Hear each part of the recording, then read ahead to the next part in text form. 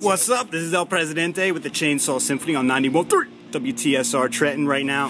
I'm sitting at a lovely picnic table with two gentlemen here, Tony and Mark. They're on the band Iron Reagan, and uh, they're going to kick some ass in just a little while here at the 2014 Barbecue. Boys, how you doing? What up? What up? I'm doing great.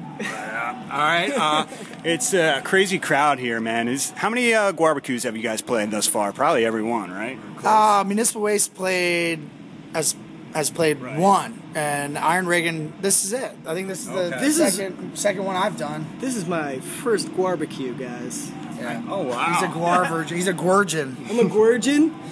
Yeah, I forget that Iron uh, Reagan hasn't but been around for only a the couple cigar years. as a sexual tool. Political, presidential humor. Reagan. Wow. Yeah, we, we've been a band for a couple of years. That's it. So yeah, we haven't really done done many.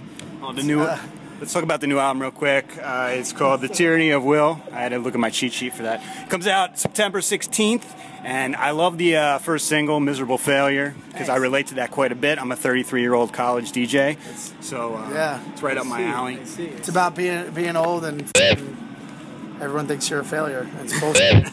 Well, uh, what did your parents say when you're like, "I'm going to be in a hardcore band They're now"? And fucking pissed, and now they they're stoked. Yeah? My brother's here right now. It's great. He came Oh, up from nice. Florida. Oh, M Buzz. Yeah, I'm T Buzz. He's M Buzz.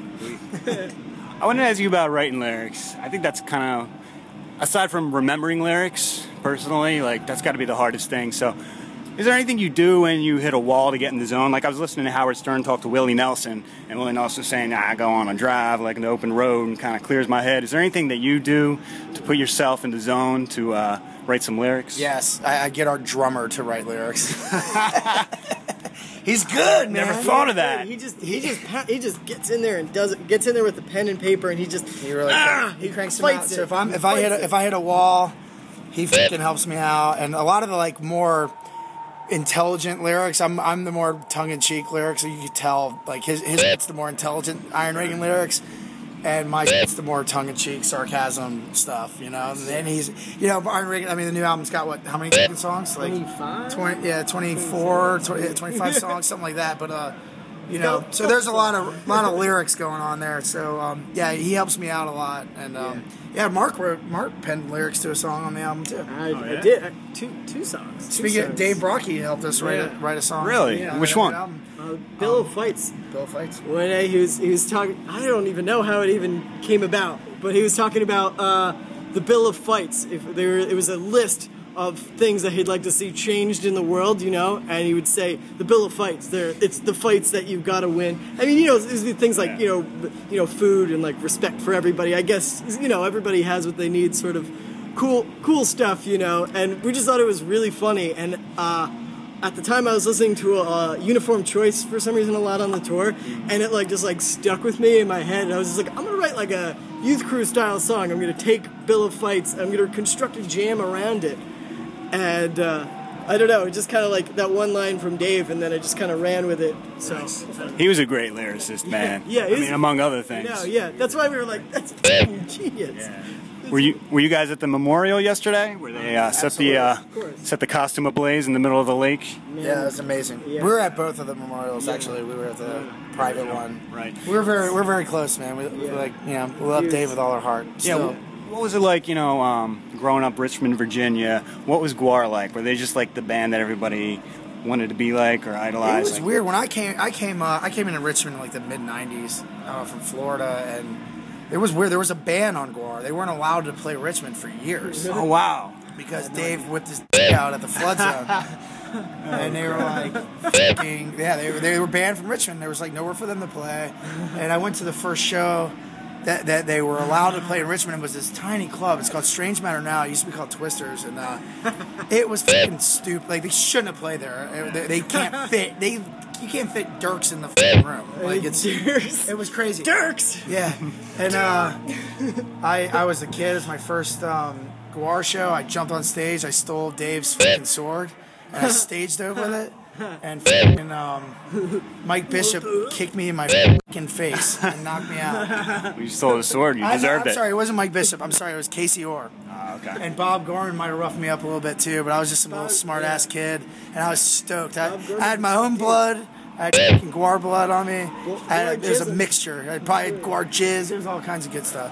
You got any uh, cool like Dave stories, like hanging with Dave, or maybe one of the A first times a you met? A million. He was a fucking great friend of mine, and uh, you know, it's tr- it's tragic, and and uh, you know, I could, we've been talking about him the past few days, especially with all this. I'm glad that there was like, you know, this, this like months later to kind of remind everybody how much of a great guy he was. You know. Definitely.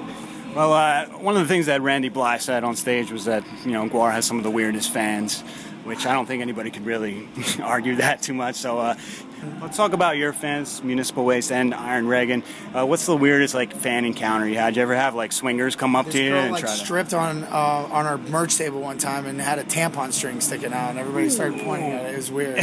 Did anybody pull it out? No comment. Unleash the Red River.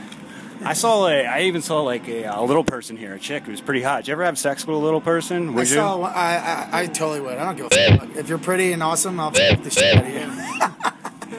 Who could argue with that? Booyah. High fives all around. all right. Well, I'm not uh, against. I'm equal opportunity comer. Yeah, there you go. You gotta be, man. Sensual way to be. Man, everybody. I see beauty in everybody. I'll fucking titty fuck you right now, dog. For real? All right, let me go shave my chest real quick. But uh, one last question. So probably opening for Metallica's got to be one of like the best gigs for like a metal band, right? Put you on the map. For or- uh, for Iron Reagan, any any of your Yeah. bands, um, like, and you got to make sacrifices to be in a band. Would you be willing to uh, to slobber on Lars's uh, dingus to uh, open for Metallica for a full year? I played with Metallica last weekend. You did. yeah. So you don't even And have to do that. absolutely right? not.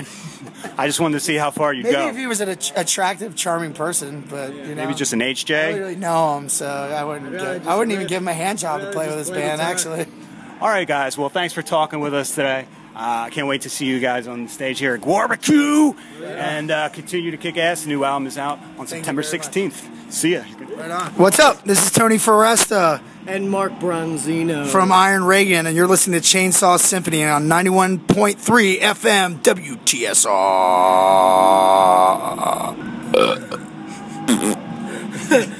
the skid mark on radio's underwear.